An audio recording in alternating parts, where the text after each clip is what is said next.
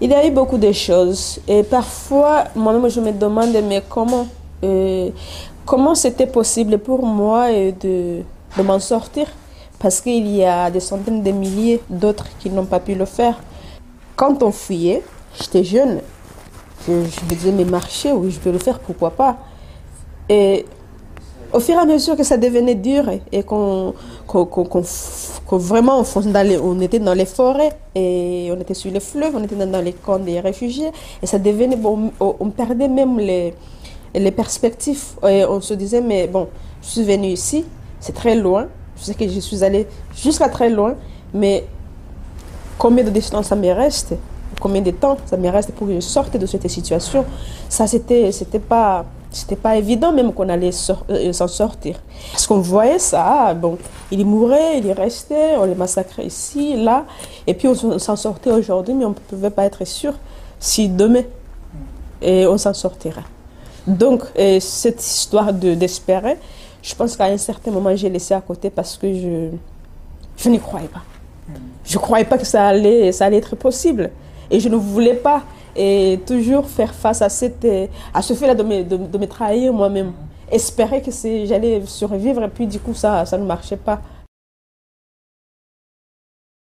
Il y a beaucoup, beaucoup de personnes qui d'une façon ou d'une autre ont agi à ma faveur et j'ai pu faire, disons, une centaine de kilomètres avec ça.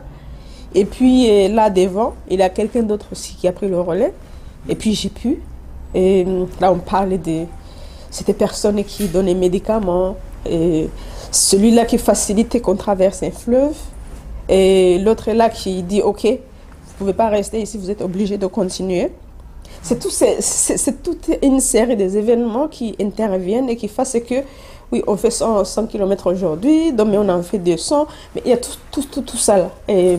Donc moi-même, personnellement, je sais qu'à un moment donné, j'ai abandonné. Et je, je, je ne croyais plus dans ce projet de survivre.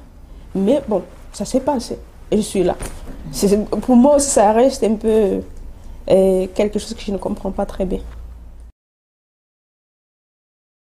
Comment on se reconstitue? C'est ça la question. Euh, c'est bon, c'est un processus hein, euh, qui est long, et je dirais même pénible.